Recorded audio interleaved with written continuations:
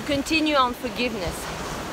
Forgiveness can be achieved not only once we've understood why we haven't forgiven and once we've come to the point of realization that not forgiving is detrimental, more detrimental than actually choosing to forgive and understanding the value of forgiveness. So there are many ways in which we can facilitate forgiveness, not just through the insights and understanding that we just shared.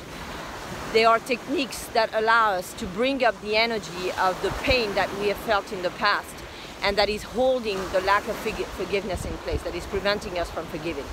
And so once we get in touch with that pain and with those recordings from the past that we're holding on to, that we're trying to prevent from happening again, then we can choose to forgive. We can use those, those techniques to bring the energy up, to process it out, and completely transcend the pain from the past and forgive optimally. I hope this helps.